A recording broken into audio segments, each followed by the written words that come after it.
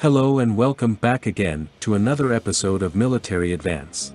The Army currently operates the M1A2 Abrams main battle tank. The service developed the Abrams in the late 1970s and began using it in the early 1980s.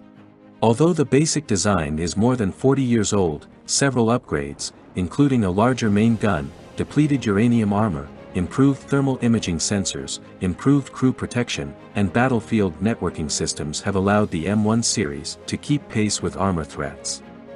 Several images taken at a U.S. Army workshop show a very rough idea of a possible replacement for the long-serving M1 Abrams tank. The images seem to depict at least three concept tanks, including one behemoth that dwarfs the 70-ton Abrams. The Army plans to make a decision about if and how to replace the Abrams in 2023.